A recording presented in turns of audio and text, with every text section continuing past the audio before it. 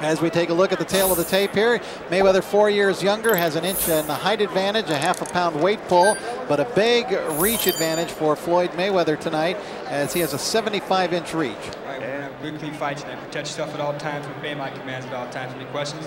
That's close. Let's go. All right, we'll get an opportunity now to see this uh, young man, whom uh, Bob Arum, promoter here tonight, Top Rank Organization, says could be the next Sugar Ray Leonard. High praise, certainly, especially when the kid is only 19 years of age. Son of a fighter, Floyd Mayweather Sr. And of course, the nephew of Roger Mayweather, who still now and then has a professional fight. And here we go into round one. Oh, off the Look at that jab. Right jab. like that, right like that. The first punch out of the back. The last thing my coach always told me before I went into the ring was establish the jab. Something else the amateurs teach you. Uh, Jerry Cooper said in this fight I have everything to win and nothing to lose. A body punch puts Cooper down here in round one. It was a kind of a flash knockdown. He knows he's upset about that. But uh, he said, I know that, that Floyd Mayweather is a terrific fighter. I know the reputation. I have a lot of respect for him. Mayweather already hot dogging here a little. Good jab from Mayweather that sets up the right hand. You're taught to punch in combinations. And Cooper's face reddening already. Mayweather very quick-handed. He was the first American, by the way, to defeat a Cuban fighter in 20 years at the Olympic Games this past summer in Atlanta. Mayweather just having fun in there right now. Yeah, Cooper really doesn't know what to do. He, he, he doesn't know how to stop Now there he's, Mayweather. he's all over him. Yeah, way outclassed. The referee should stay close. This is not even a fight.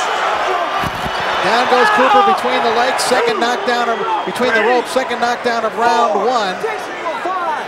And it would be very doubtful whether Jerry Cooper is going to make it out of this round. No, it's written all over his face.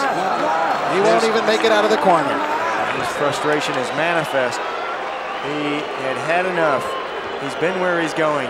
Floyd May- Mayweather gets a win and a confidence builder. Runs his record to 3 and oh. 0. Yeah, well, he's got plenty of confidence. You can tell by that attitude as he as he got into the ring and during the fight. Also a good-looking young super featherweight.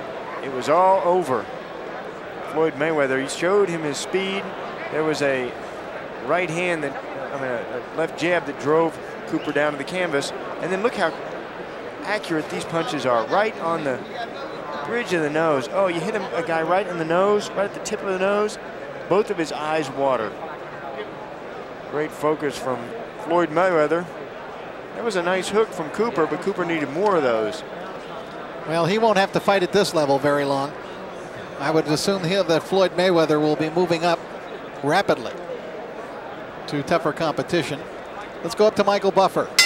Ladies and gentlemen, following the mandatory eight count after the knockdown, referee Mitch Halpern calls a halt to the bout. The official time, one minute, 39 seconds of the very first round. His record now 2 0, 2 KOs, pardon me, 3 0, 2 KOs. Silver medalist, Pretty Boy Floyd Joy Mayweather Jr.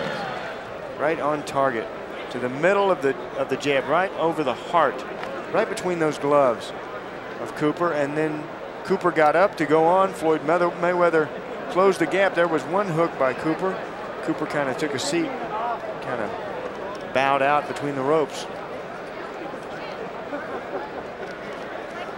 And that was all for Jerry Cooper as quite properly the fight was stopped at that point. No uh,